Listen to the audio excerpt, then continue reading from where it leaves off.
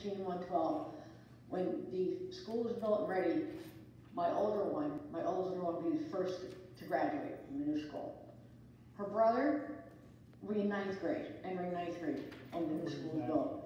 If I thought for one minute, my kids, or anyone else's kid, was in harm's way, I'm telling you right now, and you know how I am, I'm telling you right now, I would be against it. But I'm so confident that they're gonna take care of these issues, that my kids are gonna go to that school. And guess what? I- We have two brand new babies. They're gonna be going to that school hopefully one day.